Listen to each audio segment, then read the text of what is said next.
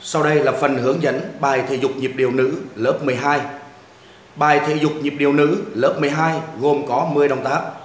Và sau đây là phần hướng dẫn từ động tác 1 đến động tác 4.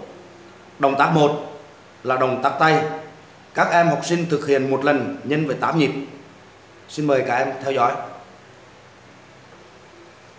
1, 2, 3, 4, 5, 6, 7, sau đây là phần hướng dẫn động tác 2, động tác thân mình.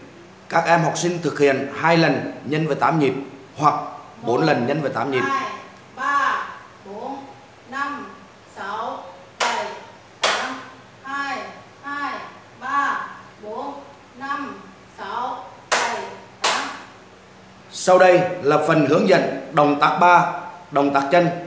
Các em học sinh thực hiện hai lần nhân với 8 nhịp hoặc 4 lần nhân với 8 nhịp. 2, 3, 4, 5, 6, 7, 8 2, 2, 3, 4, 5, 6, 7, 8 Sau đây là phần hướng dẫn động tác 4, đó là động tác phối hợp. Các em học sinh thực hiện hai lần nhân với 8 nhịp. 3, 4, 5, 6, 7, 8 2, 2, 3, 4, 5, 6, 7, 8 sau đây nhắc lại kỹ thuật của 10 động tác.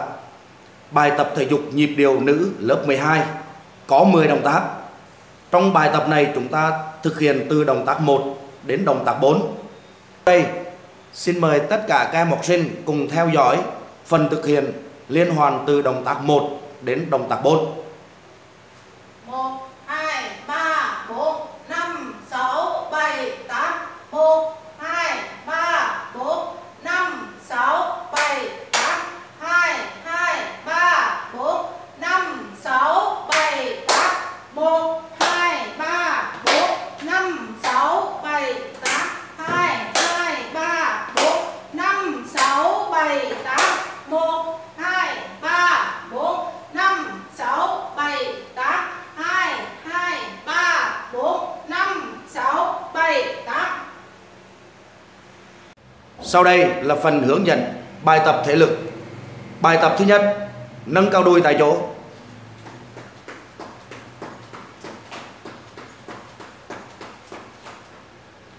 Bài tập thứ hai, đứng lên ngồi xuống.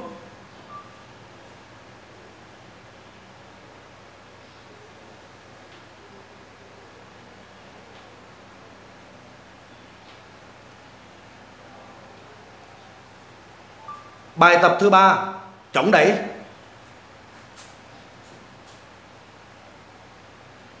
Đối với các em học sinh nữ có thể quỳ hai gối xuống để thực hiện động tác này.